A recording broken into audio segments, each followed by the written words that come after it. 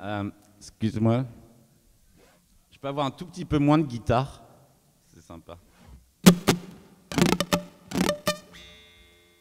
Euh, Ouais, c'est bien. Ok. Euh, voici l'histoire d'un chien et d'un bar et de flics aussi.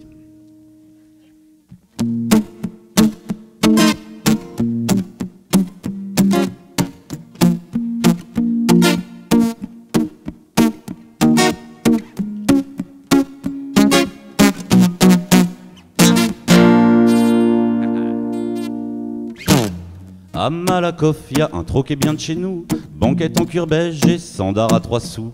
Sandra n'y a jamais posé son cul.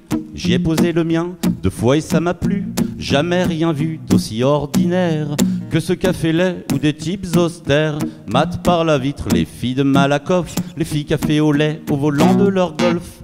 Je conseille pas aux dépressifs de s'y rendre, sauf si une poutre leur manque pour se pendre. Auquel cas ils trouveront bien un client zélé, capable de confectionner un nœud coulant serré. Une fois la corde au cou, faudra plus faire le fier. Au café Loustalou, on ne se pend pas pied à terre. L'agonie distraira les fumeurs attroupés et les dissuadera d'arrêter la clope et le tiercé. Au café Loustalou, y a pas de loulou, y a pas de voyou, y a pas de zoulou. Y a un toutou, un grand fou du. Euh, je reprends mon refrain. Au café Loustalou, y a pas de loulou, y a pas de voyou, y a pas de zoulou. Y un grand fou que les flics décrochent. Avant de prévenir les proches que bientôt sonneront les cloches.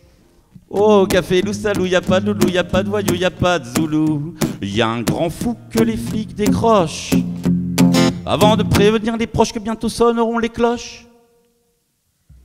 À Malakoff, y a un troquet bien de chez nous, un troquet au doux nom de Café Loustalou, dont la clientèle s'est récemment étoffée d'une demi-douzaine de bons officiers, de police évidemment, pas aux heures de service aujourd'hui à Loustalou, ils poursuivent l'exercice qu'ils ont débuté ce matin en serrant des paumes quand le commissariat planchait sur le péril jaune. D'un commun accord avec les initiés du coin, les officiers décident de dresser le chien.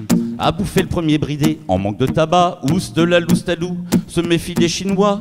Le patron essaye en vain de calmer l'assemblée, de la ramener docile à la raison du godet. Rien à faire, son chien en rage contre sa maîtresse. Il se dit qu'il est temps de lui dévorer la fesse.